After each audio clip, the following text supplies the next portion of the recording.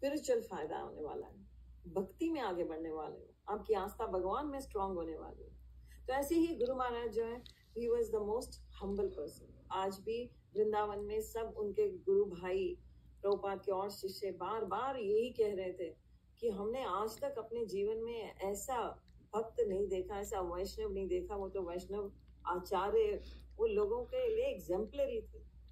He was the rarest of the rarest soul that had that came to this planet. उनके गुरु भाई कह रहे हैं। शिष्य तो दूर है, अभी तो गुरु भाई कह रहे हैं। शिष्य बोलेंगे तो कोई सोचे शायद ये चापलूसी कर रहे हैं। नहीं, उनके गुरु भाई बोल रहे हैं।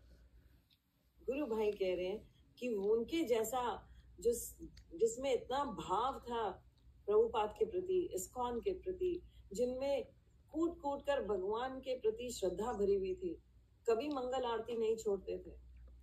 आज तक तो मैंने नहीं देखा। कि कभी उन्होंने मंगल आरती ना करी हो। हाँ हेल्थ इश्यूज़ के कारण अगर नहीं कर पाए डॉक्टर ने मना कर दिया तो फिर पर कर, एक ना एक आरती तो ज़रूर करनी है दिन में। श्रृंगार आरती करेंगे आकर। कुछ पिछले कुछ सालों से जैसे he was highly educated he was double M कोई ये सोचे अच्छा कोई काम नहीं था निकम्मा व्यक्ति बन जाता है भक्त। लोग तो ये सोचते हैं हम जैसे कोई काम नहीं है निकम्मे हैं तो भक्त बन गए हैं। तो पर अगर आप देखेंगे तो खासकर शिला प्रभुपात के जो शिष्य हैं उनमें हाईली एजुकेटेड शिष्य हैं।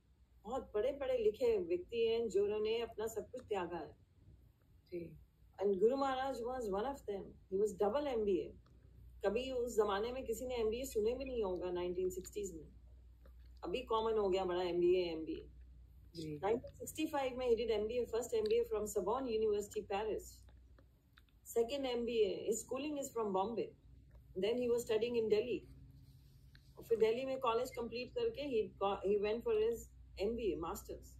और वो उन्होंने करा Sorbonne university Paris second masters he did from Montreal McGill university उसके बाद he was working in Pepsi as an executive earning in आज हम कहते हैं, उनका ईयरली पैकेज उस टाइम लैक्स में था. एंड देन ही मेट शिला प्रभुपाद आज उनके गुरु भाई बता रहे थे कि गुरु महाराज जब मॉन्ट्रियल मंदिर में आते थे तो he was young age twenty three twenty four at that time and to come to that temple he would bow down before each picture of Krishna विग्रह के आगे अलग माथा टेकते थे हर फ़ोटो जहाँ लगी दीवार पर उस पर माथा टेकते थे इतना उनको भगवान के प्रति लगाव था ऑर्डरी सोल इमेजिन जो। इतना अमीर घर से हो क्योंकि अमीर घर के थे तभी बाहर पढ़ रहे थे।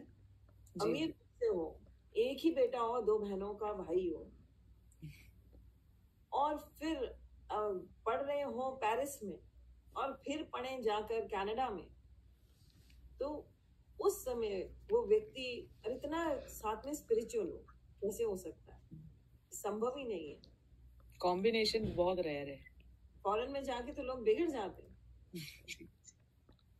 And he was he went towards Krishna